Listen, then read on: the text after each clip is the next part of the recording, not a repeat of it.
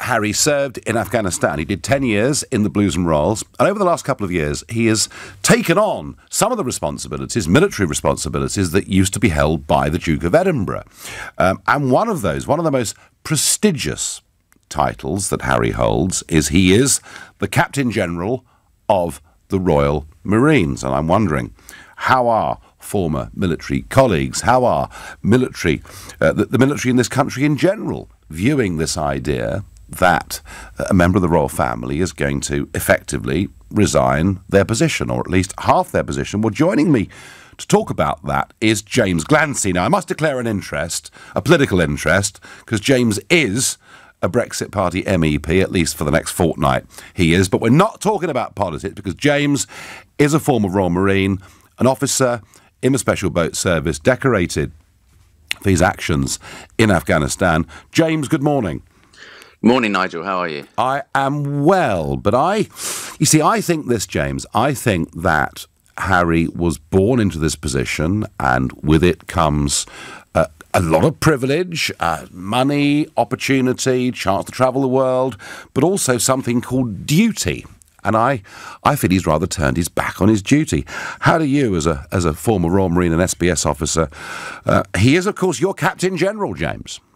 Yeah, I, I totally agree. And, and duty is the right word. And that is why we have so much respect for the Royals, is because they've dedicated their lives to the country and they and they serve and they never ask for any commercial opportunities, anything else. They serve our country and they hold patronages as a result of their birthright.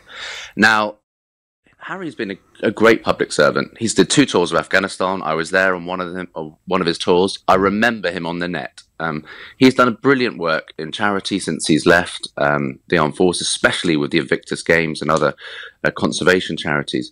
But his behaviour in the last year is not becoming of somebody that holds these important uh, positions, these patronages, including that of the captain general. Now, I've spoken to other uh, Royal Marines and other people in the military, and they're very upset, if not disgusted, by the disrespect to the Queen by not discussing this. Everybody agrees that if he wants to leave those positions, if he wants to go abroad with his wife, he's absolutely entitled to have another life, and he's entitled to live overseas. But you can't do this half and half. You're either in or you're out. And what's even worse is the thought of this privatization of the monarchy. Everyone was up in arms when they talked about private the Americans privatizing the NHS.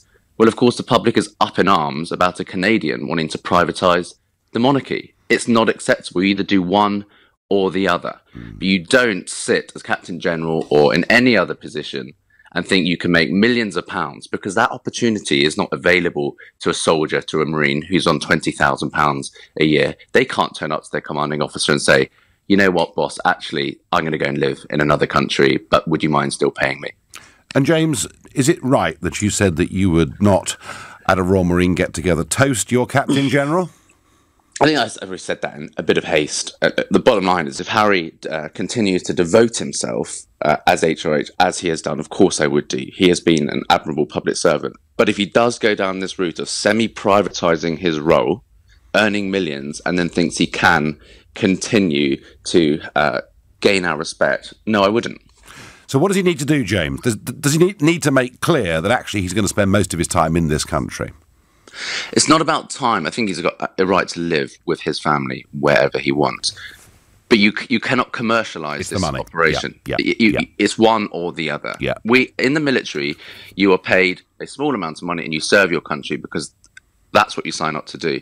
You you don't get paid and decide you're going to have a second career on the side. That's not how it works. And that is not how it works being no. a royal.